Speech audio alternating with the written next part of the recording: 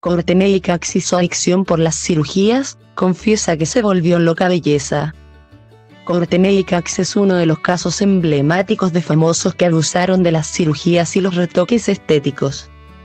La belleza natural de la actriz de Friends no dejaba indiferente a los espectadores de la serie. Pero la presión por el paso del tiempo le jugó en contra.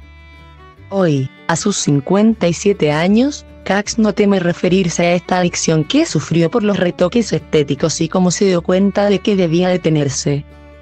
Entrevistada por Sunday Times Style, reveló, hubo un momento en que decía, estoy cambiando. Me veo más vieja.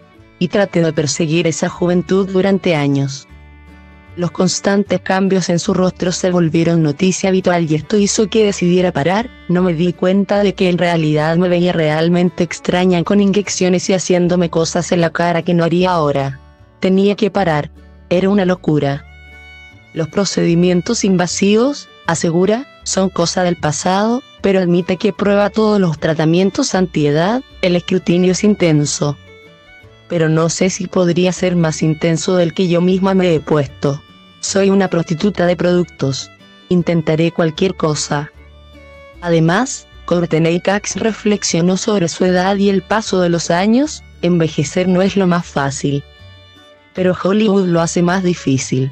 Creo que tenemos que aceptarlo porque no hay forma de escapar.